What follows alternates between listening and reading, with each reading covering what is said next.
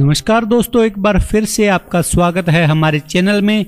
आज हम आपको बताने वाले हैं 20 ऐसे हेल्थ टिप्स जो आपकी सेहत को दुरुस्त कर देंगे। जी हाँ अगर आप एक्स्ट्रा वज़न कम करना चाहते हैं और पूरे दिन एक्टिव रहना चाहते हैं तो दिन भर में इन 20 टिप्स का ध्यान रखिए। दरअसल डाइट से जुड़ी कुछ छोटी छोटी बातें हम ध्यान नहीं रख पाते। रोज़ाना खूब सारा पानी पिए और कैलोरी फ्री चीज़ें खाएँ।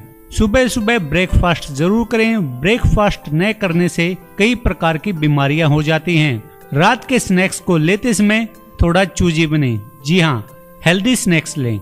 दिन भर में थोड़ा थोड़ा कुछ कुछ कम कैलोरी का खाते रहें। खाने के बीच लंबा गैप नहीं होना चाहिए। कोशिश करें कि आपके खाने में प्रोटीन की मात्रा भरपूर हो।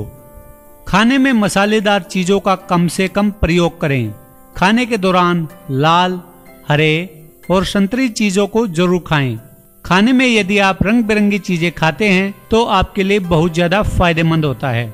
यदि आप वज़न कम करना चाहते हैं तो खाने में नमक की मात्रा को कम कर दें। वज़न कम करना है तो रोज खाना खाने से पहले कम कैलोरी वाला वेजिटेबल सूप ज़रूर लें। इससे 20 फ़ीसदी कम कैलोरी कंज्यूम होती है और आपका पेट भरा रहता है। कैलोरी काउंट को छोड़कर सिर्फ़ पोषक तत्वों के बैलेंस वाली डाइट लेनी चाहिए। रोज़ाना रिकॉर्ड रखना चाहिए। जैसे आपने कितना खाया, क्या खाया, कितना पानी पिया, और आपने हेल्दी फ़ूड खाया या नहीं। सदैव खाते समय इस बात का ध्यान रखें कि आपको आराम आराम से खाना है। यदि रिसर्च की माने तो जो लोग जल्दी जल्दी खाते हैं, वो लोग मोटे हो जाते हैं। इसलिए सदैव आराम आराम से खाना खाएँ। समय पर करें डिनर और दिन भर फ्रूट्स और वेजिटेबल खाएँ। दिन में डाइट और सोडा जैसी चीज़ों को खाने से बचें। कम से कम मीठे और ऑयली चीज़ों का सेवन करें। खाना बनाते समय फैट का ज़रूर ध्यान रखें। खाने में ऑयल बटर चीज़ क्रीम आदि का कम से कम इस्तेमाल करें। रात को डिनर के समय स्नैक्स खाने से बचे रहें।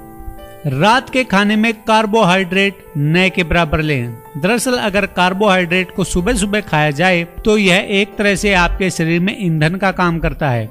लेकिन यही बात रात में लागू नहीं होती है। डिनर के बाद कुछ भी न खाएँ। इस मामले में ईमानदार रहें। खाने को करें शेयर। लंच करते समय अपने दोस्तों के साथ ज़रूर शेयर करें। ये कैलोरी चेक करने का अच्छा तरीका है। और रात को भरपूर नींद लें। यह भी आपके अच्छे स्वास्थ्य के लिए बहुत ही ज़्यादा ज़रूरी है। तो आशा है दोस्तों, यह वीडियो आपको बहुत पसंद आया होगा। इस प्रकार के और भी वीडियोज़ हम आपके लिए लाते रहेंगे। जुड़े रहिए हमारे चैनल से। नमस्कार।